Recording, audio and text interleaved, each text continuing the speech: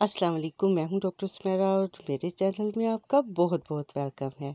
मैं आपको बताऊँगी कि किस बीमारी में आपको क्या खाना चाहिए और क्या नहीं खाना चाहिए और जो आप खा रहे हैं, इसके हेल्थ बेनिफिट्स क्या हैं। आज की हमारी डिश कैरमल खीर की है, जो बहुत मज़ेदार बनती है। तो चलें स्टार्ट करते हैं बनाना। मैंने तीन किलो दूध लिया है, थोड़े से बादाम लिए हैं खोपरा लिया है, छोटी इलायची ली है। एक प्याली के करीब मैंने चावल लिए हैं, जिसको मैंने भिगो दिया था और डेढ़ प्याली मैंने चीनी ली है। सबसे पहले दूध को अच्छी तरह उबाल लें मेरे चावल क्योंकि ज़रा लंबे थे तो मैंने थोड़ा सा ग्राइंडर में डाल के उसको थोड़ा सा ग्राइंड कर लिया है और वो मैंने इसमें डाल दिया है। अब दूसरी तरफ़ मैंने चीनी को पैन में डाल के तो उसका कैरमल बना रही हूँ। चीनी को उस वक्त तक पकाना है जब तक कि चीनी अपना कलर चेंज ना कर ले। इधर मैंने ड्राई फ्रूट्स को थोड़ा सा ग्राइंड कर लिया है और इसको भी मैं इस खीर में शामिल कर रही हूँ।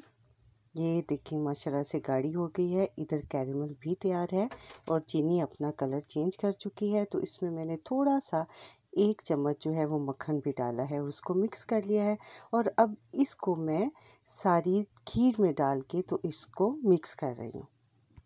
कैरमल डालने के बाद खीर का कलर बहुत ही अच्छा लगेगा और इसकी टेस्ट भी बहुत अच्छी आती है।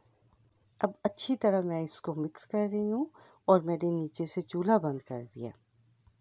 जो बच्चे या बड़े दूध नहीं पीते तो आप उनको खीर भी बना के दे सकती हैं। इससे उनके अंदर कैल्शियम की कमी नहीं होगी।